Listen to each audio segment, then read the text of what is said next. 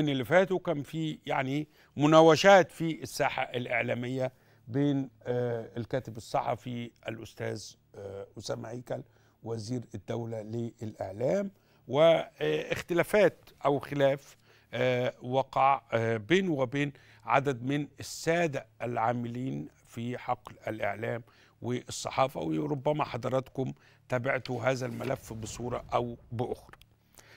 في المقابل المجلس الأعلى لتنظيم الإعلام وجه دعوة لرئيسي الهيئتين الوطنية للصحافة والوطنية للإعلام ورؤساء تحرير الصحف القومية والخاصة وكبار الصحفيين والإعلاميين لاجتماع مهم يوم الاثنين القادم بإذن الله 26 أكتوبر الساعة 11 صباحا.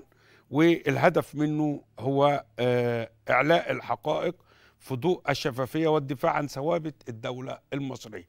بهذه المناسبة أيضا دعوة هذا الاجتماع. المجلس الأعلى للإعلام دعا السادة الزملاء الصحفيين والإعلاميين التوقف عن تناول ما يصار بشأن الأزمة الأخيرة المتعلقة بوزير الدولة للإعلام رأبا للصدر نتمنى الأمور تعود إلى سيرتها الأولى الطيبة ويعني نتفرغ لمهام كثيرة جدا الإعلام عليه أنه هو يخوض فيها خلال الفترة القادمة.